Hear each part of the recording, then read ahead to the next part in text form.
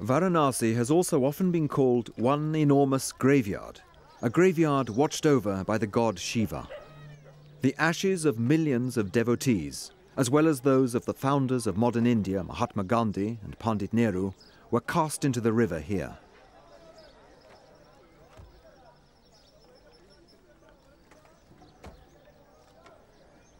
Every year, 40,000 people are still cremated here on open pyres. Now, as hundreds of years ago, great stacks of wood await the dead. Wood is now so expensive, however, that the poor are cremated in an electric furnace a little higher up the river. People have even come here to take their own life. There was a time when old men could make their way to the banks of the Ganga here, buy two large casks, tie themselves to them, and paddle out into the stream. When the casks filled with water, they sank, and the man they were supporting was liberated from the cycles of reincarnation. The sick and aged come to Varanasi, sometimes for months or years to wait for death.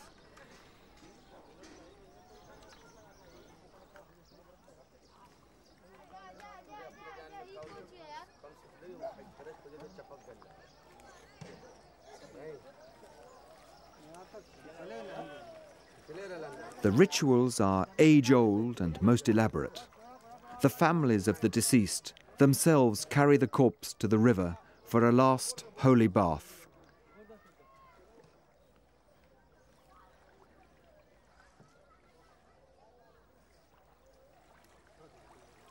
And then they carry it to the funeral pyre.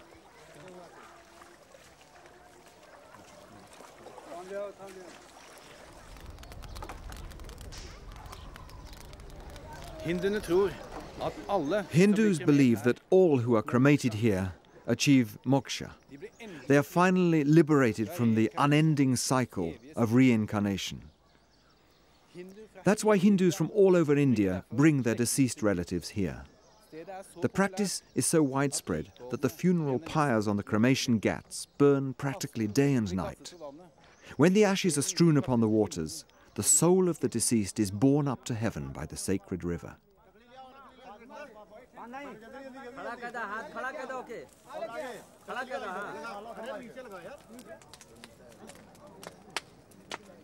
It's customary for one of a family's sons to light the fire.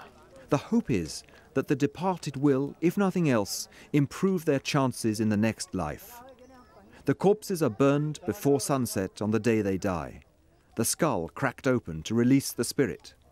The remains are sent into the muddy, slow moving Ganga. Not all bodies are burned.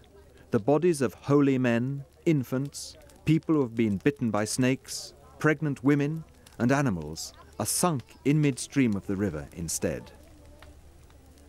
To stand beside the Ganga and observe the varied rites taking place on the Ghats is to witness the way in which, for the initiated, the river represents a kind of holy, mythical geography.